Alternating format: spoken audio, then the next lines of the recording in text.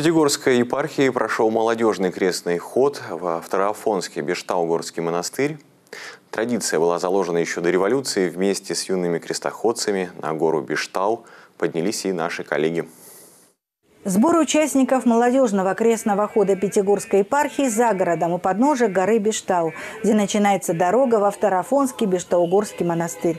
В этом году молитвенное шествие, традиция которого возобновилась в 2004 впервые возглавил священный архимандрит обители архиепископ Пятигорский и Черкесский сотвори, Господь, возрадуемся и возвеселимся.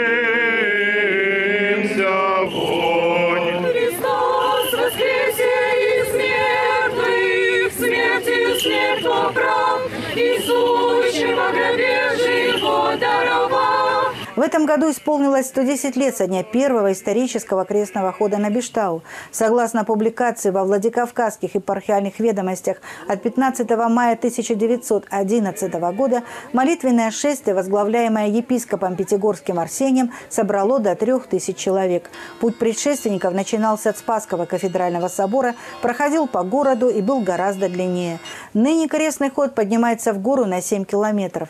В середине пути небольшой привал, чтобы попить воды. Но некоторые используют остановку для благословения или фотографий с владыкой. Мы же для интервью о современной традиции праздника. Прославляем в этот день мы воскресшего Христа Спасителя и святых равноапостольных Кирилла и Мефодию. Поэтому собираются учащиеся наших воскресных школ, а наши друзья из среднеобразовательных учебных заведений, их родители, их дедушки, их бабушки, ну и, конечно, братья-казаки.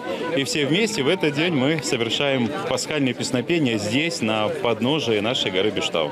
Даниил из семьи священника, но далеко не все вокруг живут православными традициями. А здесь радость от встречи с единомышленниками своего возраста. Ты погружаешься в такую атмосферу, когда э, э, твои сверстники и твои друзья э, вместе с тобой идут э, на этот крестный ход. Через час небольшим от начала пути Второфонский монастырь встречает молитвенное шествие радостным звоном Успенского собора, строительство которого завершается в обители. Здесь любовью относятся и к историческому прошлому. На старых фотографиях можно увидеть, как выглядел монастырь до революции, когда сюда 110 лет назад пришли участники первого крестного хода. Епископ Пятигорский Арсений объявил тогда, что праздник будет ежегодным, но скоро грянула революция. Традиция вернулась лишь в 21 столетии. Преподаватель воскресной школы Лазаревского храма Пятигорска Анна Викторовна уже в 17 раз привела в обитель своих учеников. На крестный ход хотели многие, но участников пришлось выбирать.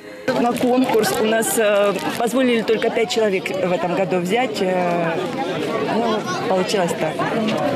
То есть все желающие? Да. Все бы сейчас пришли бы сюда, от мала до велика.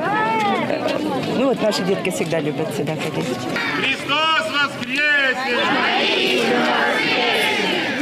Елена Христосова, Артем Соломенцев, студия «Благословенный Кавказ».